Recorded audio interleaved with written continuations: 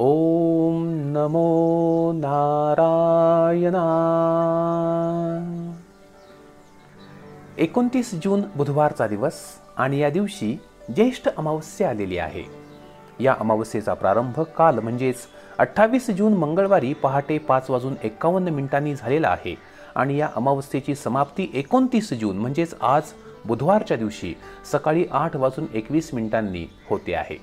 मित्रांनो जरी आपणास वाटेल की ही अमावस्या संपलेली आहे तरीही लक्षात ठेवा सूर्योदय व्यापिनी तिथी तत्वानुसार आजचा म्हणजेच बुधवारचा संपूर्ण दिवस आणि संपूर्ण रात्र ही अमावस्या तिथीच मानण्यात येते. ही अमावस्या आहे. आणि या अमावस्येच्या दिवशी सूर्यास्तासमयी म्हणजेच जेव्हा सूर्य मावळेल त्यावेळी आपण आपल्या घरासमोर किंवा घरामध्ये ज्या ठिकाणी आपण तुळस लावलेली आहे त्या तुळशी वृंदावनाजवळ एक छोटासा उपाय अगदी आवर्जून करा.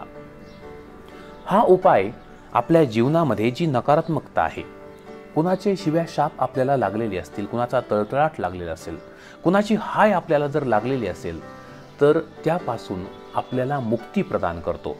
लक्षात घ्या या ज्या नकारात्मक गोष्टी असतात त्या आपल्या प्रगतीमध्ये बाधा बनतात अडसर बनतात. तुम्ही पाहिलं असेल की तुमच्या एखाद्या विशिष्ट कामामध्ये सतत अडचणी येतात. घरामध्ये मुलामुलींचे लग्न होणार आहेत. मात्र विवाहासाठी स्थळ येत नाही. विवाह कार्यामध्ये अडचणी येतात. पती पत्नीच्या वैवाहिक जीवनामध्ये सतत काही ना काही कुरबुरी चालू आहेत. उद्योगधंदा व्यवसाय व्यवस्थित चालत नाही.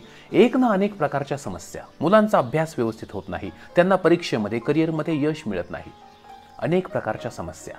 या समस्यांचं मूळ आपण जाणून घ्यायला हवं की जर एखादी जवळची व्यक्ती आपल्यावरती खूप जळत असेल तिचा जळफळाट होत आहे आपली प्रगती बघून किंवा आपलं सुख बघून तर हा जळफळाटसुद्धा निगेटिव्ह एनर्जीच्या स्वरूपात आपल्याला त्रासदायक ठरू शकतो.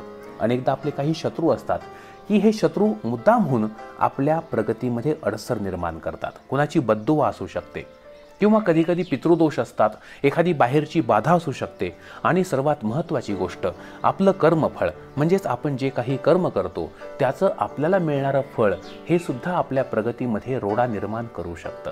आणि अशा वेळी आजच्या अमावस्येचा हा उपाय आपण आवर्जून करा.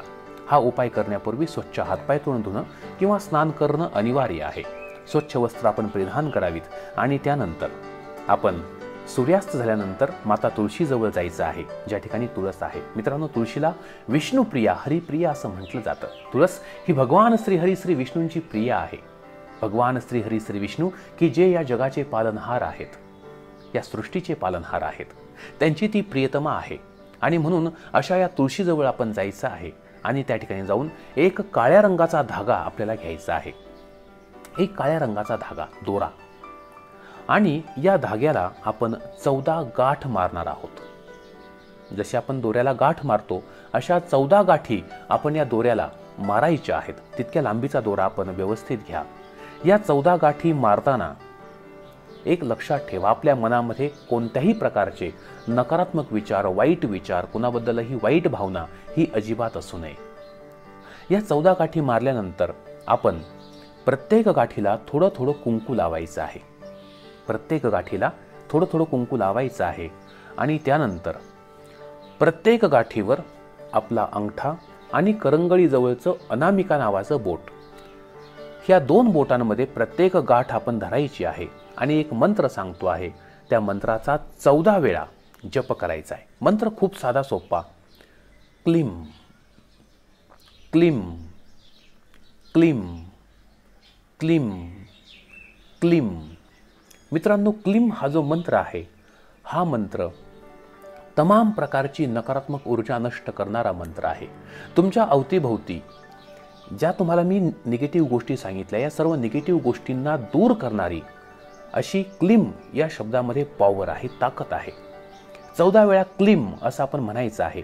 प्रत्येक गाठीवरती एका पहिली जी गाठ तुम्ही मारली त्यावरती अंगठा आणि करंगळीजवळचं बोट त्याने ती गाठ दाबून धरा आणि क्लिम हा शब्द चौदा वेळा आपण उच्चारा.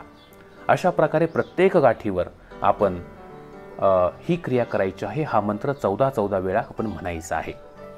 अशा प्रकारे हा मंत्र म्हटल्यानंतर आता ही क्रिया करण्यापूर्वी एक गोष्ट लक्षात ठेवा.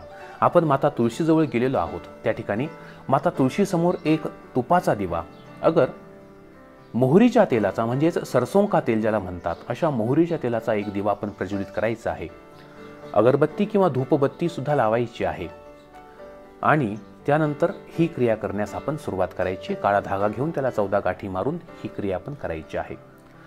ही क्रिया केल्यानंतर आपण मनोभावे माता तुळशीस हात जोडायचे आहेत. आणि तुम्ही ज्या कामासाठी हा उपाय करता आहात ते काम सफल होऊ देत त्या कामामध्ये यश येऊ देत अशी प्रार्थना माता तुळशीच्या चरणी करायची आहे. आणि हा धागा या माता तुळशीच्या बुडाला आपण गुंडाळायचा आहे. जे खोड आहे माता तुळशीचं त्या खोडाला त्या बुडाला आपण हा दोरा व्यवस्थित गुंडाळा त्याची गाठ मारा. किंवा फक्त गुंडाळून ठेवला तरीही चालेल. गुंडाळ्यानंतर पुन्हा एकदा तीच प्रार्थना आपण करणार आहोत. आणि माता लक्ष्मीस प्रसन्न करवणारा मंत्र ओम नमो भगवते वासुदेवाय ओम नमो भगवते वासुदेवाय या महामंत्राचा जास्तीत जास्त वेळा आपण जप करायचा आहे. मित्रांनो ही क्रिया संपलेली आहे.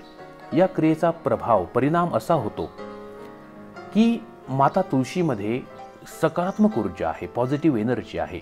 ही पॉझिटिव्ह एनर्जी हा धागा स्वतःमध्ये खेचून घेतो.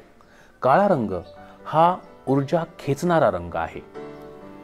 काळा रंग हा ऊर्जा खेचून घेणारा रंग आहे.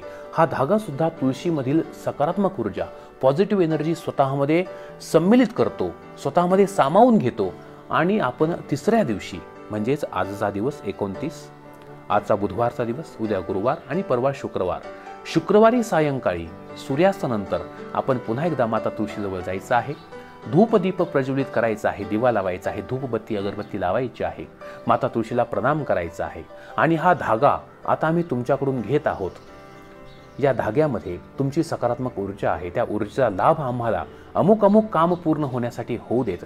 आमचं अमुक अमुक काम पूर्ण होऊ देत अशी मनोभावे प्रार्थना करून हा धागा सोडायचा आहे आणि आपल्या उजव्या हातामध्ये तो आपण धारण करायचा आहे बांधायचा आहे. उजव्या हातामध्ये. या कामी तुम्ही एखाद्या व्यक्तीची मदतसुद्धा घेऊ शकता.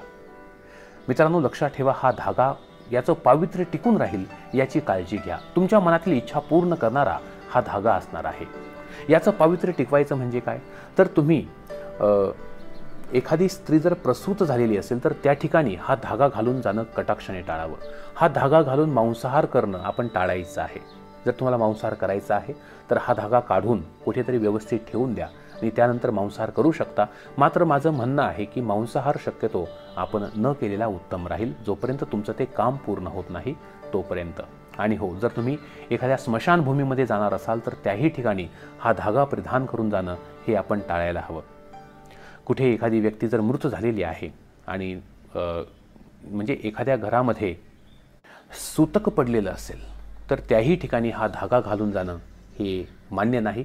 त्यामुळे या धाग्यातील जी काही पॉवर आहे ताकद आहे क्षमता आहे ती खूप अंशाने कमी होऊन जाते. मित्रांनो अशा प्रकारचा हा उपाय या अमावस्या तिथीस सूर्यास्तासमयी नक्की करून पहा. माता लक्ष्मी भगवान श्रीहरी श्री विष्णू आणि माता तुळशी आपल्या मनातील ज्या काही इच्छाकांक्षा आहेत त्या नक्की पूर्ण करोत. कॉमेंटमध्ये ओम नमो नारायणा किंवा फक्त ओम लिहिलं तरीही पुरेसं आहे. आम्हाला प्रोत्साहन मिळतं. आणि तुम्ही तुमच्या आवडत्या देवी देवतेचं नावसुद्धा लिहू शकता. सोबतच या व्हिडिओला एक लाईक करा आणि आपण जर अजूनही आमच्या ओनली मराठी या यूट्यूब चॅनलला सबस्क्राईब केलं नसेल तर विनंती आहे कृपया सबस्क्राईब करून शेजारचं बेल आयकॉन अवश्य दाबा. धन्यवाद. ओम नमो नारायणा